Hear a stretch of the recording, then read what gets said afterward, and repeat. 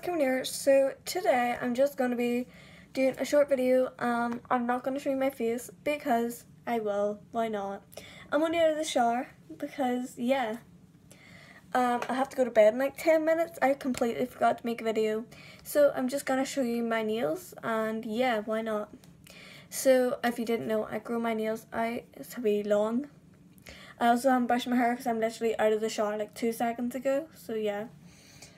Um, this is what they look like. You can't really see them in this light, but like,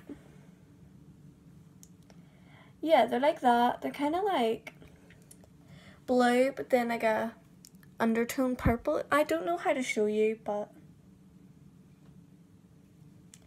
yeah, so this is what they look like. Again, in this light, you can barely see them properly. And if you want to see what nail polish it is, it is this.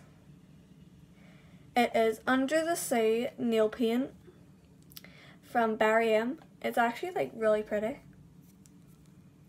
That is pretty much it since I said I have to go to bed, but yeah. So comment down below, like, subscribe, and I'll see you later. Bye!